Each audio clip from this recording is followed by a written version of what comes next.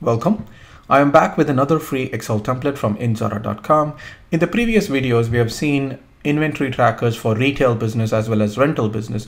This time we will be talking about the manufacturing business and this template can be used in scenarios where you manufacture your products based on raw materials that you purchase from your suppliers. And then the manufactured products, you will actually be selling them to your customers. So if your business is dealing with such a scenario, then this template can be helpful to calculate the current stock of raw materials that you have in your inventory, as well as how many products you can make using those raw materials that you have. This template could be helpful in making decisions around whether you will be able to fulfill a sales order from your customer and if you determine that there is not enough inventory of raw materials, then you can place an order to your supplier to get more raw materials from them. You can download this template for free from indzara.com. Now let's go and look at the template to see how it functions. This is the template where I have filled in some sample data so that I can illustrate how the template works.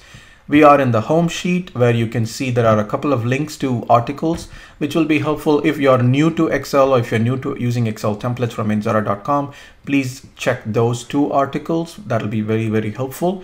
And then a list of instructions on how to use this template. It's very simple. So let's go through the, um, the template quickly. The product sheet is where you enter the list of your products. So in this case, I'm assuming this is a, a juice or a smoothie making company where we create these products like the banana berry shake or apple banana shake and all these different products. These products are made from raw materials, which would be the fruits, raw fruits and vegetables. So let's go and look at the raw material sheet where we enter each raw material that we have in our business. And then starting inventory is how many of the each raw material did you have when you started using this template. So this is a one-time entry. And in this case, for example, I have 10 of each of the fruits and vegetables that I've listed here. And then the reorder point is the quantity of each raw material at which you want to put a new order to your supplier to replenish the inventory. For example, if the number of apples I have in my inventory goes 5 or below, then I want to place a new order to my supplier to get more apples. So that's what the reorder point means. We have calculated columns here and uh, th this one is especially the available now will tell you the number of units you currently have in stock and then to order will tell you about whether you should place an order or not because this is comparing the current stock versus reorder point and telling you whether you should order or not. If you have to place an order, those raw materials will actually be shown in red font to help you identify which one should be ordered. And the purchases column is basically the how many units have been of raw materials have we purchased so far.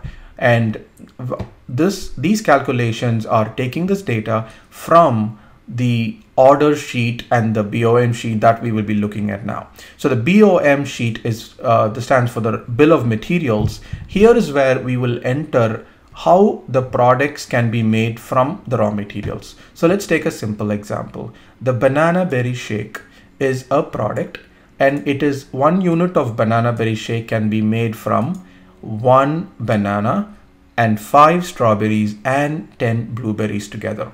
Similarly, apple banana shake can be made from two apples and two bananas. So this is how basically it's the recipe for each product. And this is also something that you would enter only once. This is not something you have to do daily. It's a one-time entry of how the product can be made from its raw materials. The unit of measure is just for your reference. It's not used in any calculation. The last three uh, columns are used in calculations. So uh, I'm not going to go into this because this is primarily just to help us calculate the inventory. You can ignore this for uh, when you're using the template, but definitely do not edit it. Now, the order sheet is where you will probably spend more time on an ongoing basis because every new purchase order or sale order should be entered here with all the details. For example, the purchase order P1 was placed on order, uh, order date of July 3rd And then uh, this is for two products like apples and bananas. And you expect those apples and bananas to reach your location or to reach your inventory on 4th this there are two dates mainly because just because you place an order to purchase your raw materials doesn't mean that you will get it on the same date. So the more important thing uh, important date here is the expected date because this is the date when the items reach your inventory. So this date is used for all the inventory calculations. And in this case we are ordering 50 apples and 20 bananas as part of order 1 Sale S1 stands for the next order where we are selling, that's why the order type is sale. On 5th July, we are selling it and it leaves our inventory on the same day. And it is for five units of banana berry shake. And so this means that we have created five units of banana berry shake and sold it, which will tell the template to automatically deduct the inventory of all the raw materials needed to make banana berry shake. So that's how the template figures out how the inventory should be calculated uh, based on the purchase and sale orders. You can enter as many order line items you want, as many orders you want in this table. And uh, the notes column is just for any, any comments or notes that you want to enter, just keep typing it. If you want to add more columns, you can just click in cell H7 and then type a new name and then you can extend and extend as many columns as you want. At the top, you have today's availability check. So this is important because if you have a sale order, for example, and a customer wants a specific product, you, you would want to know whether you have enough raw materials to make that product. So for example, apple banana shake, how many do I have today? So you have enough raw material to make 13 apple banana shakes. So if I go to banana berry shake, I only have, uh, I can only make three of those. So this will be helpful to make decisions around whether you can fulfill the sale order as well as decision to purchase more raw materials necessary to make the product. So this is how the inventory check or inventory availability can be useful. To add more rows and more columns, it's very simple. Just go to the last uh, row of the table and then go to the next one and then type in, for example, any, any order number and then this now becomes part of your table and you can choose whether it's a sale or um, a purchase order and then you can enter the dates when the order was placed, the date when the inventory will reach, or leave us because it's a sale order. And then what are you selling as part of this order? Maybe we sold vegetable mix of two units for example. So this is how you would enter uh, a new row to the orders table. If you want to delete a row click on the cell right click and then delete table row. So that's how you would delete a row.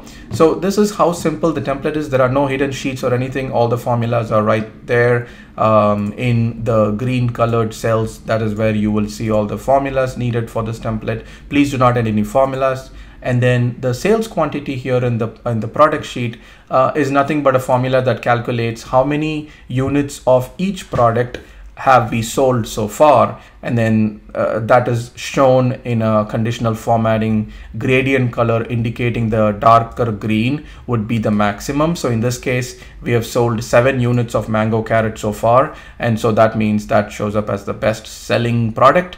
And then anything which is darker red would indicate that it's the uh, least selling product. In this case uh, there are a few which have not sold yet with zero units of sales. So this is how you could easily track inventory for your manufacturing business uh, where you manufacture products based on raw materials and you can keep track of inventory and estimate how many products you can make from the raw materials very, very easily with this template. If you have any questions, please leave them in the comments and I'll be very, very happy to respond. Thank you very much for watching this video.